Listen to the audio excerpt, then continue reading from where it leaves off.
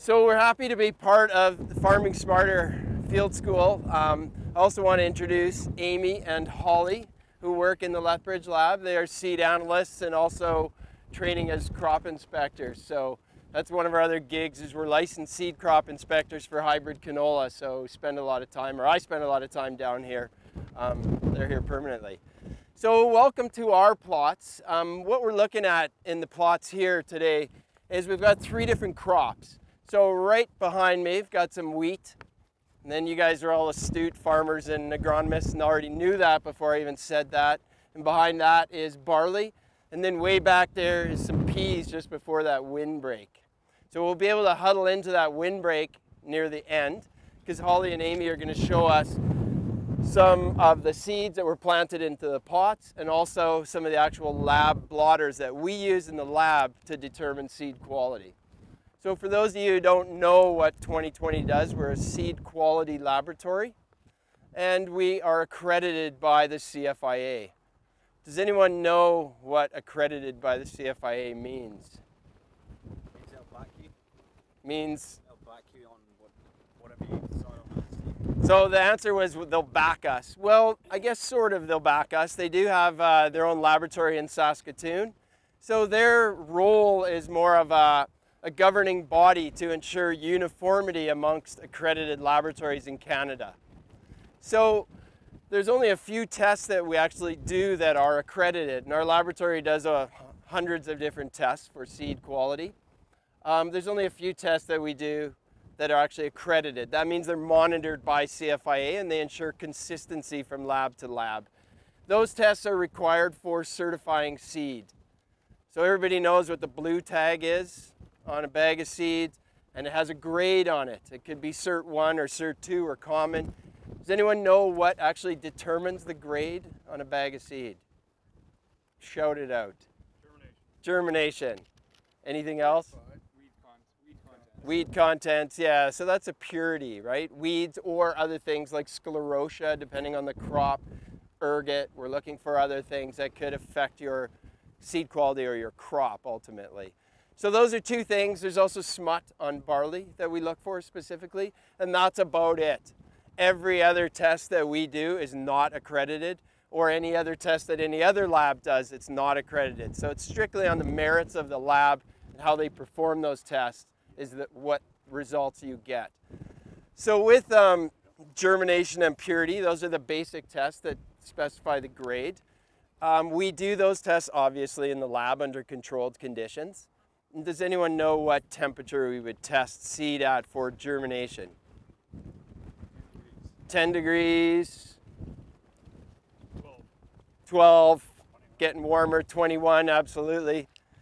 Um, 21 degrees. How many people plant their barley at 21 degrees soil temp? Nobody, right? Well, we did because we planted all these plots June 10th. So the reason why we planted June 10th is I wanted you guys to see seedlings, right? I don't want you to see plants the size of that winter wheat. So we want to look at seedlings, what's happening. So it puts us at a bit of a disadvantage, I guess an advantage and a disadvantage planting June 10th. Can someone say what's an advantage of planting June 10th? Other than soil temp was nice and warm? Yeah, so the air temp is warmer. And what does warmer soil temp usually equate to? Good emergence, right? And why would we get good emergence? Less stress on the seed, right? Less temperature stress and maybe less disease pressure too. So those are really important factors. Nobody has the luxury of planting their seed at 21 degrees Celsius. Or we're never gonna, this isn't gonna amount to anything if we took it to yield. So what other tests can you do on your cereal or your pulses or your canola that's gonna give you more information than germ? Vigor, absolutely. How many people have ever done a vigor test on their seed lot? So lots of hands. It's becoming more and more popular. And if you were to only do one test, you would do a vigor test. Germination is great for applying a grade to your seed because it's a nice standard test that we can do under ideal conditions and we could test the maximum potential of your seed. If we seeded it all on June 10th, we'd probably get a decent stand, but nobody does that. So vigor is really going to separate the men from the boys, if you want to use a cliche, right? So that's what the vigor test is going to do. Um, vigor tests, we do many different vigor tests. Our lab is internationally accredited as well. We're the only lab in Canada that's internationally accredited. So there actually are some vigor tests that are accredited through the ISTA, International Seed Testing Association. We do some of those on soybeans and canola, but there's nothing on cereals. So we have tests that we use in the lab for cereals that we've developed over the years that we think correlate really well and provide you guys as producers or agronomists with really good information that you can use under our prairie conditions. So they're done for cereals, cold temperatures, five or six degrees. For soybeans, we do high temp, low temp, same with canola. Lots of different vigor tests for canola to put it through its paces. So in these trials here that you're looking at, we got the three crops. But we've also got some seed that's, you can just see by the signs, low vigor, high vigor. We got some disease seedlings.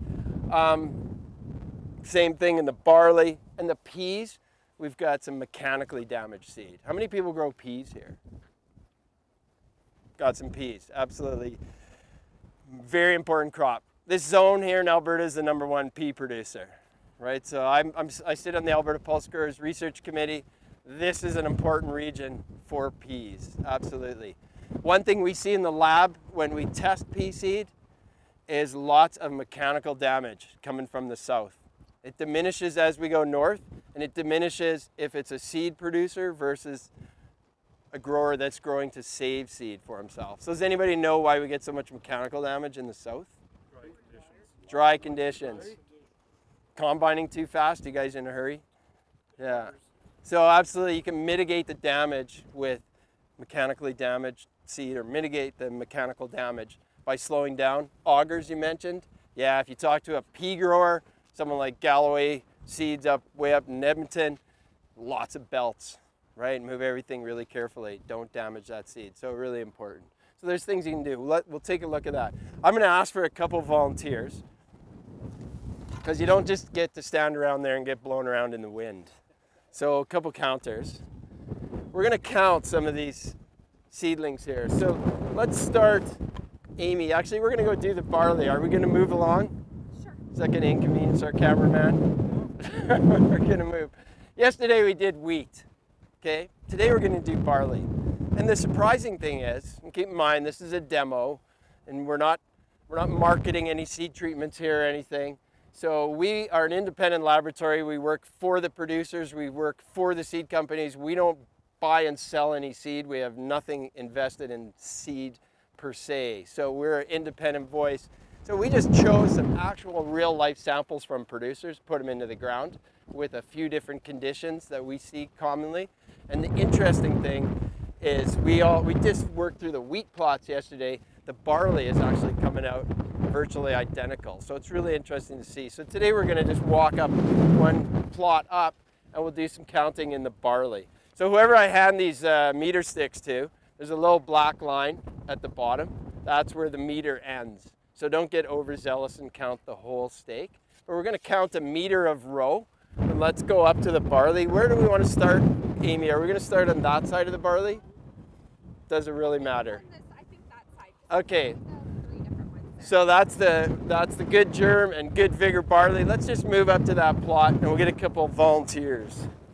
So while I'm talking, I'm gonna ask you please to count the good germ, good vigor. Just take a row and count one meter. We're not gonna do this real scientific and do four reps or anything. You sir, there's the line right there, the meter line. Just do the next plot.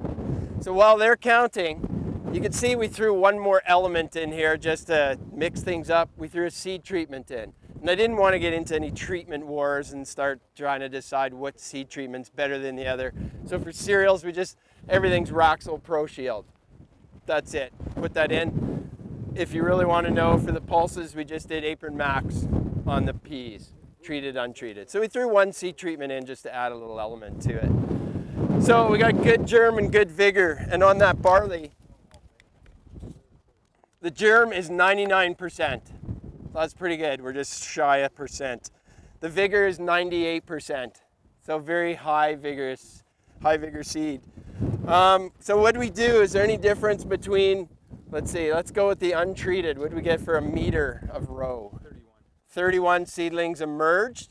And the seeding rate was 300 uh, seeds per meter squared. Is that what it was? So if we convert the 31, it's multiplied by 4 and divide by 300. So we're at about mm, 124, right? Is that right? 30, 60, yeah, 124 out of 300 seeds. Okay, so we're at about 30 some percent emergence. We lost 66%. And that's seeding under pretty decent conditions. How did we do with the treated? Any different?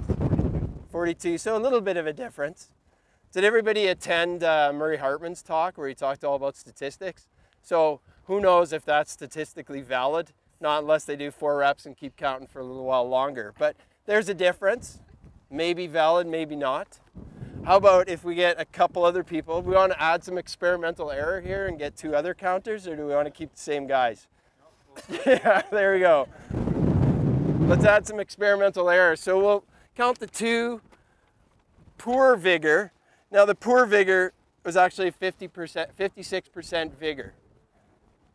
Uh, the germination on that one, we don't have the germ on that one? Okay. Generally what we see is you may have a seed lot that has a pretty decent germ that's still making cert 1, but it can have low vigor. So we can have seed lots with high germ and high vigor, and we can have seed lots with high germ and low vigor. And worst case scenario is you got low germ and low vigor. And there's not much you can do. You can protect a seed lot that has high germ and low vigor a couple different ways, right? So you can add some insurance. One is you could seed it June 10th, or you could seed it last. So you give it sort of the least amount of stress. And another way is you could put a seed treatment on it. And the most important point I want to get across today is that you as a producer or a consultant really need to know what the issues are with your seed if you're going to make management decisions. Because there's the one big black box that we can't really deal with is the weather. What's going to happen after we plant? We know the soil conditions and the soil temp when we plant. So the more you know about the seed, the better. So the germ is okay. Vigor is really important. And then we're going to talk about disease. So how do we do on the low vigor seed lot? 33. 33. Actually pretty decent. How about with the treatment? Did it help? Didn't help. Did it go 19? It actually went down. Wow. Did it go down? Who knows? Right? So statistically, maybe we could do that again. Maybe we could turn it around. If I'm trying to sell that treatment or not sell the treatment, maybe we could turn it around. But my point is, we don't really have a difference here between the high vigor and the low vigor if we look just at those four counts because we planted it June 10th. So it was good to know that we had high vigor and low vigor and it helped us make a management decision because that would have been one more kind of black box that I had no clue if I just did a germ on that sample. So lastly, I want to talk about disease. Has anyone tested their seed for disease? You have, sir, and you have. So did you use us, hopefully? Yes. Awesome. Good man. I didn't pay you, did I? Yet. Good. So yeah, we have a test called the fungal screen.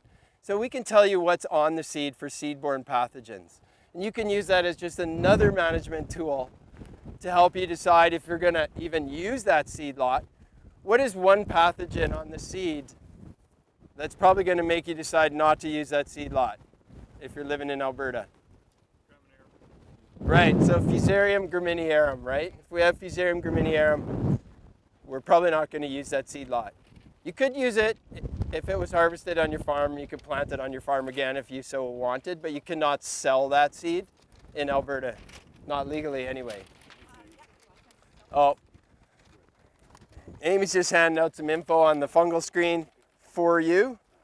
Um, this particular seed, actually, can we get two more counters? And while I'm talking, we'll get two more counters to do the last two barley plots. Okay, awesome.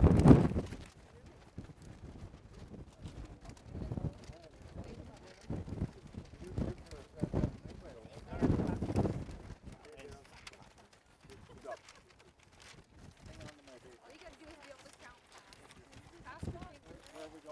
Count past the fingers. Okay.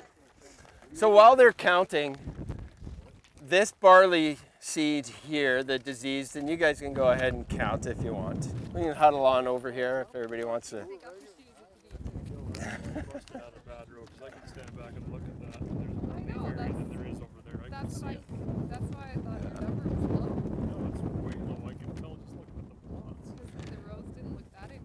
You're obviously not with Bayer Crop Science then. Yeah. Okay, there's an unbiased count. so how are things, Doug? Good, good. Good to see you. You're escaping the cold and chilly? Welcome back to Canada. good. So we have a guest here all the way from Chile that came just to see our plots. So thanks for coming, Doug. He just wanted to get out of the winter time and come back to the Lethbridge winds. So we've done the fungal screen on these disease samples, and we're looking for a couple different things on the seed. We're looking at a few different storage organisms, and that's really important if you do the fungal screen after harvest, right off the combine. So on this particular sample at 14% alternaria, which isn't too much of an issue as far as the pathogen's concerned. That and aspergillus, um, cladosporium, epicoccum, some of those pathogens, well, they're not pathogens, they're more just storage organisms. They're, are, they are what's going to contribute to heating in the bin, right? So you have high levels of those organisms, usually you pick it up in the swath. Everybody straight cuts right down south. Yeah, we don't really have that luxury in Edmonton where I'm from. A lot of crops lay in the swath for a while and then they get wet and they pick up all these other organisms, especially bad on barley with the hulls. So you get a lot of issues. So that can contribute to heating in the bin if it's going in wet. The big thing on this seed though was common root rot, and that's Cochliobolus sativus. It was 77% infested with common root rot. So three quarters of the seeds had high levels of common root rot. Holly and Amy will show you some of the petri dishes, what we use in the lab to ID those, those uh, pathogens. So that's a pathogen. By the name common root rot, it's seed-borne, it's soil-borne, it's stubble-borne. It's all over the place, and if you lay your grain down in a swath and you get some wet, cool weather, the spores are all over that seed. So now you got an issue possibly in the spring.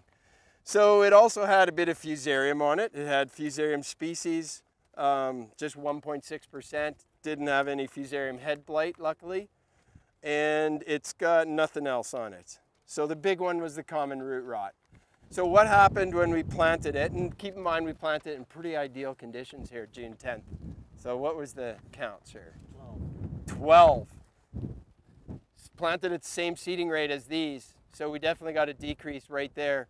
Probably just from the common root rot, but also was the germ on that seed. Actually, the germ was 90%.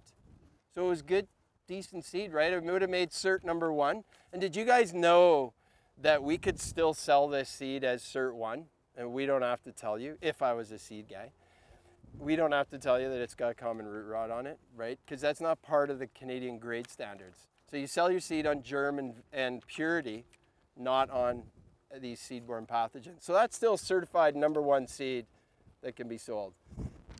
Um? Um, but the seed grower is not obligated by law to do that. But I know there are a lot of seed growers that do that over and above. But um, what the seed grower would probably do, the responsible seed grower, is they'd probably treat that seed and sell it to you treated. And how would it turn out if he treated it and sold it to you?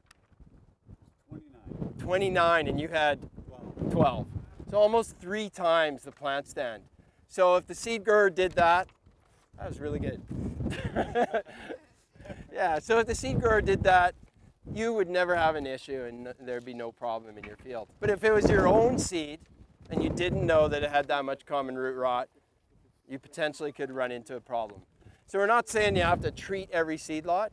We're saying if you understand the quality of your seed, you can make those management decisions and decide whether or not you treat it. Because we had a producer yesterday ask about that, and he said, yeah, especially if I'm seeding later, not as late as June 10th, but he's watching the weather, soil's good, he's got high vigor, high germ, he might not go in with a treatment on that. He knows the history of his field, because that's the black box too. What's in the soil? What's the soil-borne pathogens? We can't do too much about that, so we're we're going to hopefully put in high quality seed and we're going to overcome that one unknown. So that's just one thing. Um, are there any questions on the cereals before we go look at the peas? They can't sell you seed that's got Absolutely, they can't sell you seed that's got fusarium. The fusarium on this is what we call just fusarium species. So there's a whole bunch of other fusarium species. Um, there's fusarium avenaceum, there's fusarium culmorum. They all cause seedling issues. They all cause seedling blight. But in Alberta, we're really concerned about fusarium graminearum. That's a really aggressive fusarium species, causes lots of problems. Anybody from Manitoba? Doug is. Yeah, you know all about. Are you, are you still farming in Manitoba right now, or okay? So you know all about fusarium. It's devastating. Um, it's an issue down south now, and it certainly causes problems between seed growers between the north and the south, and that's definitely a concern. I sit on the Fusarium Action Committee as well, so that's that's always a big issue. Okay. Pardon me? Just migrated into Alberta? Yeah, yeah, it's been in Alberta for quite a few years now. S- We struck up the action committee in about 2001 or so, somewhere in there. So, and the the the action plan right now in Alberta still is all seed has to be tested. So seed cleaning plants test for fusarium as well, um, or they all should. And um, we can't sell seed that has fusarium graminearum on it. Okay. Well, they wouldn't clean it if they're not got it in there. Yeah, yeah. You, you gotta test it first. They wouldn't clean it if they got it in there. What plant do you clean at? Lethbridge? Okay, yeah. Yeah, so that's the policy of the whole Alberta Seed Cleaning Plant Association is that they test all the seed for fusarium to try to limit the movement, right? Because it's, it's all farm safe seed going through those seed cleaning plants primarily. There's a lot of seed growers that use it too, but yeah, lots. So, so fusarium's an issue. Definitely be cognizant about that. Um, today, I don't know if uh, anybody talked to you about clubroot. Murray Hartman talked about clubroot this morning. He had some interesting plots, but always keep clubroot on your mind. So I'm going to bring that up even though we don't have it in the plot. I know Alberta Agriculture and Brooks is putting on a really good clubroot called, uh, what is it? Canola Gala or Gala, Club Clubroot Gala. Anyway, they're going to start advertising that. It's going to be at the end of July in the Brooks area. Make sure you go to that. We're really lucky here in the south because of the good rotations with canola, kept clubroot at bay. So we need to keep that up, mostly because there's so much hybrid canola seed growing here and we have to have long rotations. Where I'm from, it's canola on canola all the time and we're clubroot central. And these boots never leave Lethbridge. so let's um, take a look at these peas. Can we get four new counters? We're gonna add to our experimental error again. And four new counters. We could just count all four of these plots at once and I'll talk to you. Here we go.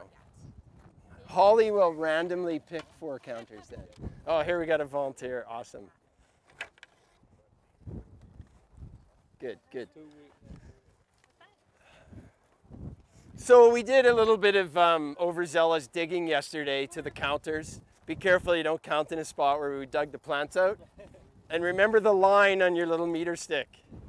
Remember the line. Good. Okay. Awesome. We got four counters busy here. So with the peas, we really did, we really wanted to focus on mechanical damage because that's such a big issue down south.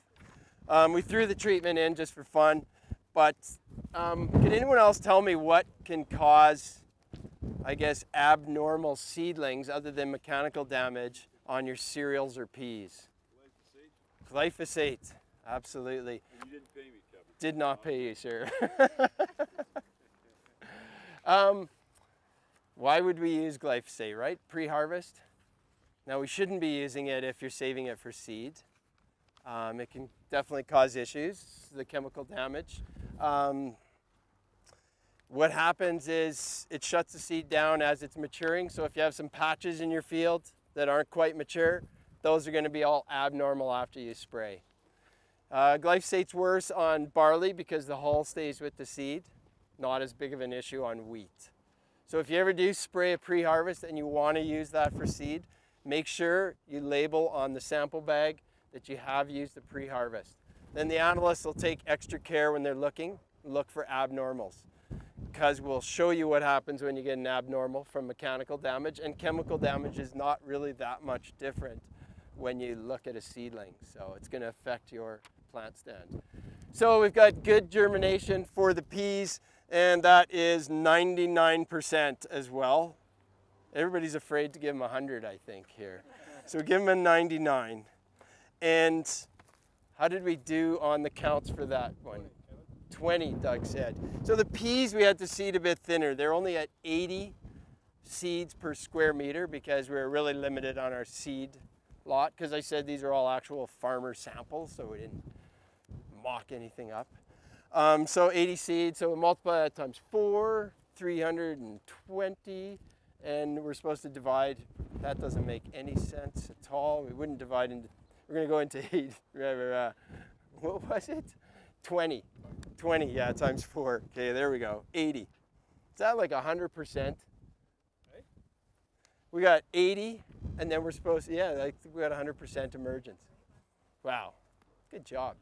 So, according to Doug, all of the seeds that we planted emerged. And actually, yesterday we were getting around 80 some percent emergence based on the count.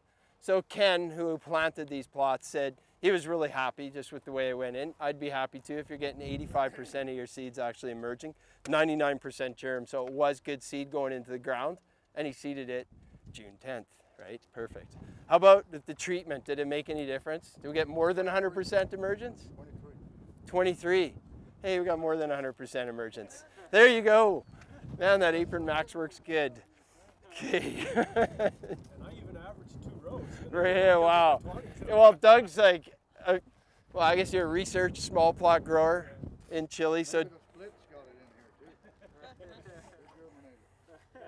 Doug does a lot of background work in hybrid canola in Chile and does a lot of small plot work. And so, yeah, he sees that canola seed long before you guys ever plant it. So, of course, you're going to do a better job counting, right?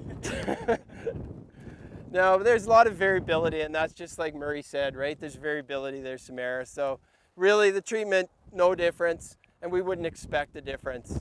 We got really high quality seed. We planted into ideal conditions, so that's good. Thank you guys. How about the mechanical damage? So the mechanical damage seed, the germination was only 76%. So there's about 20 some percent abnormals from the mechanical damage. And Holly and Amy can show you a sample of seed. I think they've got some here today. You can see some actually obvious mechanical damage right where we peel the, the coat was peeled right off the seed. But there's a lot of times where the mechanical damage is really minor. So it's minor cracks that you can't see, but as soon as we germinate it, you can see it. And to the untrained eye, you'll still think those are good germinated seedlings. But what happens in the field is under ideal conditions like we have here, the seedling starts to emerge and we just glance at it and it looks like we have an excellent plant stand. But as soon as you get the hot, dry, windy conditions like right now, those seedlings are going to pack it in. They don't have a proper root structure. And I don't know if Amy and Holly have some, but let's find out what the counts are first. So 13, and we were up at 20 here. We're down to 13 already with the mechanical damage. And they might actually be counting some mechanically damaged seedlings that are coming up, but are going to pack it in pretty soon. So it might be a little bit biased. And how'd you do with the treatment? 13. So did the treat? There were two that looked like they were damaged, but they're just above the ground. Yeah, so those are ones that are going to pack it in. So you could see, could you see any that? Okay, yours look good. There's a lot of pea leaf weevil damage, but everybody listened to Hector this morning, and we know not to be too concerned about the pea leaf weevil, right? So we're not worried about that. But we're worried about the mechanical damage, and that's a pretty poor stand compared to what we had in the first two counts. The one thing about a seed treatment on mechanically damaged seed, and if you have mechanically damaged seed, maybe not as bad as this, because we only had 76% germ. The seed treatment will help because the mechanical damage or the, the small like cracks in the seed produce more root exudates, and then the pathogens are drawn to the root exudates. That's how they find their host, right? So a pathogen that prefers peas like Pythium is going to be attracted to the root exudates, and we get a lot more root exudates from seed that's mechanically damaged. Because we do a test in the lab called EC or electrical conductivity. We use that a lot on canola and also peas. And what it does is it measures the root exudates from the seed as they leach out into the water. And then we use a, an EC meter, right, electrical conductivity meter, and it measures the amount of dissolved salts in that water. It's very sensitive and it's rapid overnight. So we know right away if there's mechanical damage on that seed. And that's an internationally recognized test that we do through the ISTA, so the International Seed Testing Association. So it's big on peas, big on canola. It's um, actually Sarah Foster, who started 2020. She um, did a lot of the pioneering work with Alberta Pulse Growers on EC testing mechanically damaged pea seed to try to help producers limit the amount of mechanical damage. So Why, why do they produce more root exudate if they're mechanically damaged? I don't quite understand what the reason is. um, it's because the seed coat's damaged. So the seeds, with the seed coat, it's designed to imbibe water at a controlled pace. Okay, so it's really amazing when you look at a seed coat and you talk to a seed physiologist. That whole seed coat is designed to imbibe water at a controlled pace because you've got a dehydrated seed and you don't want to hydrate it really fast. It causes membrane damage, so cells rupture, and when cells rupture, you get leachates. So if you have a broken seed coat or even minor cracks, it imbibes water really fast.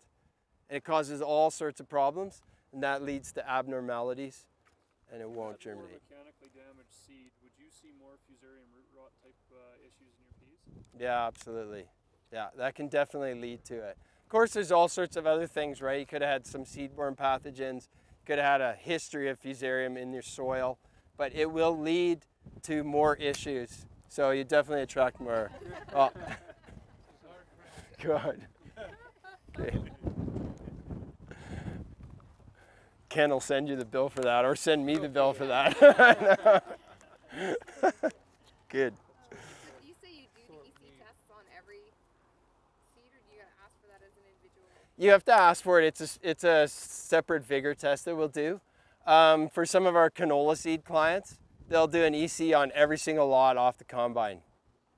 Okay, so depends. I mean, like the canola seed companies have their own system of tests that they do on all their seed all the time. So it's it's tested a lot, right off the combine, right through to after it's treated. So some of our clients will do EC on every single lot, do it on peas for certain people. It just depends, but it is something that you can request. So Kevin, Yes. abnormals in pulses, I've often seen where you know you've got 10 abnorm 10% abnormals, and they all and you seed treat and they all grow, and then you've got you're, you've got higher than what you were planning population, so you might as well just went with your your germ Yeah. and your uh, abnormals combined. That's a perfect question because I brought that up yesterday. About three years ago, everybody in the province had loads of abnormals on their peas because we had such a poor harvest uh, fall or harvest conditions. So we had some cases, a lot of seed was 66% abnormals, and everybody was scratching their head and scrambling for decent seed. So some people had to plant seed that had 66% abs, bump the seeding rate way up, and then it was a perfect spring right? It was perfect. Just like here, pretty decent conditions, and a lot of those abs actually grew, right? And so, you know, in that case, who can who can really predict what the spring is going to be? If you had a normal spring, all those abs would pack it in, right? And it depends where you are, right? If you're in Edmonton and we never get these crazy winds and everything, uh, you those a lot of those abs will probably grow. If you're growing in Scott, Saskatchewan, where the wind howls and it's bone dry right after you seed, all the abs are going to disappear. And we did this sort of demo in Scott at their field day a few years ago, and the abs they're just gone. Nothing emerged. So that's a crapshoot there, and I don't know. You have to kind of mitigate that on your farm. Well, my other question was earth tag on pulses like peas. Can club root be spread because of earth tag on? Okay, earth tag on peas. Can club root be spread on that? Um, because I'm coming from Clubroot Central in Edmonton, um, we're pretty much surrounded by clubroot fields, and we're talking huge, hugely infested clubroot fields. So high, high spore numbers. Um, earth tag definitely, definitely can carry the spores, right? Um, the spores. Uh, it takes about what is about 100,000 spores per gram of soil around there till you can possibly see an infection. So lots of spores, but the spores are small and they produce billions of spores in each gall. So I saw barley seed from a grower I know in the Edmonton area, and I don't know what he was doing when he harvested this barley, but he took half the field with it. So he took me out to his bin and it's from a known clubroot infested field. And I took some of that barley and it was just loaded with earth tag. You could put it in a Ziploc bag and sift it and get soil in the bottom. So we took that soil, it was full of clubroot. So potentially if you planted that barley in a field, um, you, you are introducing spores, right? It takes a lot of clubroot spores. They've got a lot of natural predators too. So whether or not you're gonna actually introduce the pathogen or actually get a disease symptom showing up on your canola is hard to say because you do need a lot to be moved around, but earth tag is a potential source, right? You couldn't deny that. It is a potential, anything that has soil is potential, but how big of a risk? Probably very, very low. The biggest risk is moving lots of soil around, right? Stuck to tires, contractors. We do a lot of club root testing in Nisku for contractors that are moving soil around. So if someone's coming onto your farm and there's a pipeline or something going through your farm, make sure that they are doing their due diligence and testing anything that they're bringing onto your farm, whether it's their equipment that they've cleaned or if they're bringing topsoil to replace something that they've destroyed on your farm. So really important with club root. Does that answer your question about the earth tag? I mean, danced around it a bit, but yeah. Ron Howard's done work on that. You'll see him later. That's good. Yes. We got the Ag Info Center right here. So, are you? St- you're still there. Good. Excellent. So yeah, feel free to correct me, but definitely if you've got seed on there and if it came from an infested place, we detected it no problem. We do a PCR test for club root, so a molecular test. We were able to detect it no problem on his barley seed that came from a club root infested field. So. Um, if we still have a few minutes, we're not getting kicked out yet. So let's take a look. Amy and Holly have some actual blotters from the lab and they'll tell you um, what's going on there. So just sticking on with the peas, um, I did just pick these out of the field and you can actually see. So this would have been, uh, this one has strong, a strong primary root and strong seminal root. So obviously that one is gonna grow, it, it will keep growing. Whereas these ones, they this, this one would have been mechanically damaged. It has no strong primary root and no strong seminal roots to help bring the nutrients up to that plant. So what it needs to keep growing in, into the field here. Um, So I guess if we go into the lab, this is what our pea blotters look like. So when we plant them, we plant 25 seeds on here, roll them up. We do four reps, or 50 seeds, sorry, four reps. So you get 200 seeds. Um, and so this is what we'll see. If you want to move up, we tape them down because yesterday they were all blowing away. But so this is what our high germination good pea seeds will look like. And then here is our mechanical seed. So what Kevin was talking about how water gets in unevenly and damages the embryo. So, I mean, here you can see there's a root but no shoot coming up. Um, this one looks like there's a root and no shoot. So the shoots have been damaged by that water that's being imbibed unevenly. So and even like with these are the seeds, like these ones they're pretty, um, the cracks are huge on them, but even just a small little crack can cause it to be an abnormal seed. And and then um, with our pots here, so we we wanted to show you guys um, the fungal. It actually really really showed up well. So like our this is our high germination and high vigor. So definitely everything looks really nice in here. And then our low vigor, there are lots of deads. You'll see lots of deads in there. But all the rest of the seedlings look normal. Same with the fungal infection. So I think Kevin said there's about 70, 75% common root rot on this seed lot, which, I mean, you can see the difference between the treated seed. There's probably about, I didn't count it. Looks like maybe close to 100% germination, whereas this one you can see a lot of dead and the roots are very brown. And, and we also saw that in our plots. which one was Yes. this? Um, this is our untreated, You can our see seeds. There's already disease that's starting to come up here. They're they're looking like they're weak um, compared to these ones, and definitely a higher germination out of this, out of the two that came up. And then this is um, I don't know if you, you can tell. Yeah, these are these are what. Well, we don't do a disease here in uh, Lethbridge. They have to be sent to Nisku. But this is what they'll do. So they plate 10 seeds, and they do 200 seeds. So there'll be 20 plates of 10 seeds. And what they look at, they've got a nice agar base that they grow the seeds on, so the bacteria will grow. And what they're looking for is this kind of thing. So the disease analysts can look at all the spores, look at the shape, color. I think they even smell it.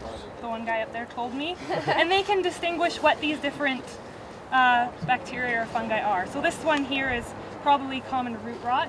I think one of them here has what looks like could be fusarium.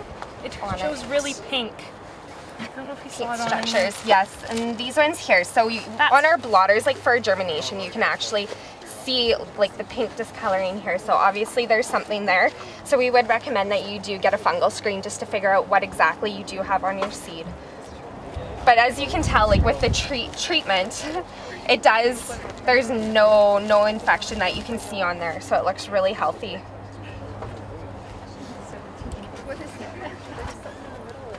And even just looking at your seeds, like you can't tell if there's anything on it or if it looks like a good vigor or a low vigor or or if it if there's any infection on it. So it is really good to get your seed tested to know what you're starting with. Start with something good. So in, in the lab, do you put seed treatment on? Um, We can do specific tests if you request us to. We can add it on, but no, we'll just test the seed that you bring in. Any other questions?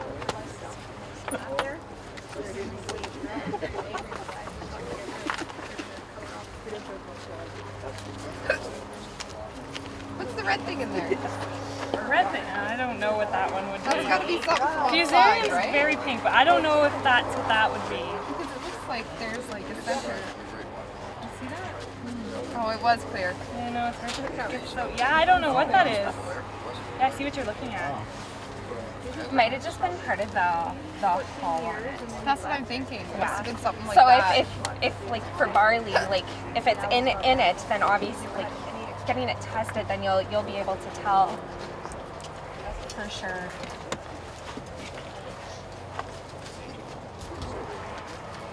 All right, uh, it's time to switch, everybody. I'm going to send you guys all the way up to the trailer. You just gonna sit in the shade now for a while.